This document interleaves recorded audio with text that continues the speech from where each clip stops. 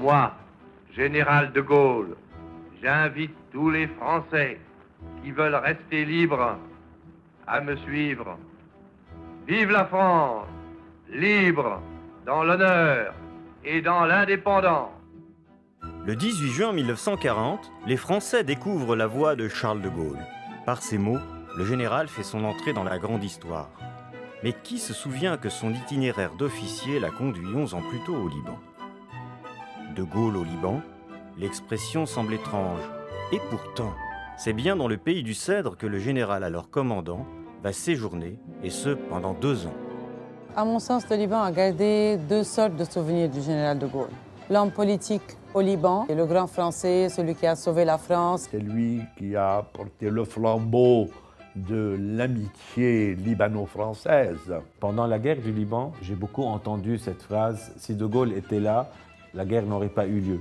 Ah, si De Gaulle était encore là. Tout comme le peuple français, le peuple libanais garde dans son inconscient collectif l'image d'un homme d'État rare. Portrait, autographe, autant d'objets du temps passé jalousement conservés. Mais que dire de l'admiration de certains Libanais qui allèrent jusqu'à donner comme prénom à leur enfant le nom du général? De Gaulle, Fahad من وادي شحرور العليا سماني الوالد دي جول لأنه كان يحب فرنسا وصورة الجنرال دي جول بجيبته Bien loin de Londres, de Paris ou de Colombay, le Liban garde à sa manière des traces de son passage.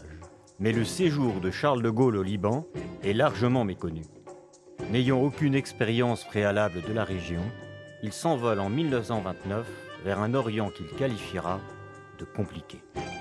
À l'époque du mandat français sur le Liban, le général de Gaulle, ainsi d'ailleurs que son allié euh, Georges Catroux, séjournent au Liban entre 1929 et 1931. De Gaulle est arrivé en tant que commandant à Beyrouth. Il vivait dans un immeuble qui existe toujours à Caracol Drouze, euh, donc avec sa famille, puisqu'Yvonne et les trois enfants l'ont accompagné.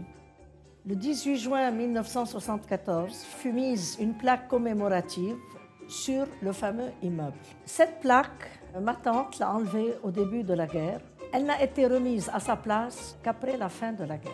La fille du général de Gaulle est venue au Liban visiter l'appartement historique et fut très émue de revoir les lieux où elle a grandi avec son frère Philippe et sa sœur Anne. Euh, Le garçon était chez les jésuites, Elisabeth était euh, chez les les Dames de Nazareth.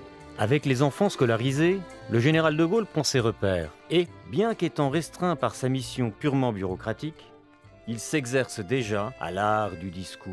Ça l'aide énormément à forger son raisonnement sur le Liban. C'est le seul lieu du monde où islam et chrétienté ont réussi une convivialité que ces institutions politiques favorisent. C'est un précédent exemplaire précieux. Et puis il y a la fameuse conférence qu'il a donnée à l'université Saint-Joseph. Il avait fait un discours remarquable qui est aujourd'hui encore d'une très grande actualité. Sur ce sol merveilleux et pétri d'histoire, il vous appartient de construire un État. Il vous faudra créer et nourrir un esprit public, c'est-à-dire la subordination volontaire de chacun à l'intérêt général, car un d'État sans sacrifice, Conscient du chemin que le pays du Cèdre devait encore parcourir et des défis qui restaient à relever, le général de Gaulle a marqué de son discours toute une génération, parmi lesquels Alfred H., qui dix ans plus tard, en 1941, accueillera le général désormais chef de la France libre, venu passer en revue les troupes ayant répondu à son célèbre appel. Mais également le premier président du Liban indépendant, Bchar al-Khouri. Mon père a vécu une période extrêmement difficile au moment où la France a perdu la guerre devant l'Allemagne. Alors là, ça a été pour lui un choc terrible. Alors quand il y a eu l'appel du 18 juin, qu'il avait entendu à la radio et qu'il avait ému jusqu'aux larmes, il s'est dit, voilà un homme enfin qui va tirer la France d'affaire. Au moment où Vichy se trouvait au, Liban, Churchill et De Gaulle ont décidé, surtout De Gaulle en fait, qu'il fallait absolument ne pas laisser euh, le Liban tomber entre les mains des nazis. À son arrivée, le général de Gaulle est reçu par le général Catrou, le président de la République libanaise, M. Nakash, le général Spears et les principaux fonctionnaires de la délégation. À la suite de quoi, les forces françaises libres, les FFL, se sont dirigées vers le Liban Nord. Il y avait dans notre village de Hasroun un hôpital pour les officiers de l'armée française du Liban et de Syrie. Ultérieurement, en août 1941, mon grand-père fit un grand déjeuner en honneur du général de Gaulle dans notre demeure familiale de Hassoun. Le Liban et la Méditerranée sont sauvés des nazis par l'intervention française. C'est dans ce contexte que va s'ouvrir un des épisodes les plus célèbres de cette époque, qui est celui de l'indépendance du Liban.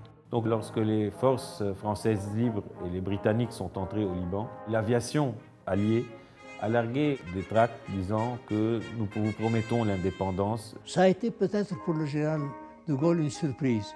Il pensait peut-être que les choses se passaient de manière plus souple. En même temps, il sait que le temps du mandat est révolu. Donc, il essaye de proposer une indépendance sous traité. Les politiciens libanais, pour nombre d'entre eux, avaient compris qu'il y avait une opportunité historique à saisir.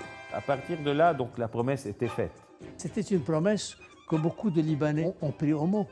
Le général de Gaulle essaye de négocier, ça ne marche pas. Les autorités françaises locales ont emprisonné les hommes de l'indépendance. Tout de suite, euh, la population libanaise s'est émue de, de, de, cela. Elle est descendue dans la rue. Mais c'est vrai que le général de Gaulle a tenu, promesse. Ces hommes politiques ont été libérés donc, sur décision du général de Gaulle. C'est ainsi que donc, le 22 novembre 1943 est devenu la date officielle de l'indépendance du Liban. La fin de la Seconde Guerre mondiale et les défis de l'après-guerre en France et de la post-indépendance au Liban, aussi grands soient-ils, ne vont affecter en rien la force de l'amitié franco-libanaise. Tout au long de ses mandats, le général de Gaulle ne cesse pas d'apporter son soutien à une nation qu'il définit lui-même comme indépendante, prospère, cultivée. Ainsi, en 1969, après l'attaque israélienne contre l'aéroport de Beyrouth, il n'hésite pas à proclamer un embargo immédiat sur les armes françaises à destination d'Israël. Quand le général de Gaulle a pris cette position, il était déjà très favorable au Liban et en même temps, il avait pris une figure d'ami des Arabes.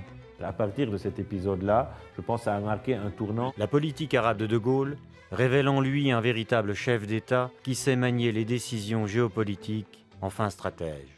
Aujourd'hui, 45 ans après sa mort, perdure l'image d'un homme visionnaire, attaché à l'indépendance d'un pays pluriel, qui incarnait à ses yeux un modèle d'espoir pour la région tout entière. Tout le monde sait l'affection que le général de Gaulle portait au Liban et l'affection qu'on porte à la France d'abord et au général de Gaulle spécialement. Les relations franco-libanaises ont perduré. Une amitié qui n'existe nulle part au monde. Ça dénote aussi la confiance qu'avaient les Libanais vis-à-vis -vis du général de Gaulle, en qui ils voyaient un, une sorte d'ami sincère et, et fidèle. Il a prononcé un discours mémorable. Les Libanais, libres et fiers, ont été le seul peuple dans l'histoire du monde dont le cœur n'a jamais cessé de battre au rythme du cœur de la France.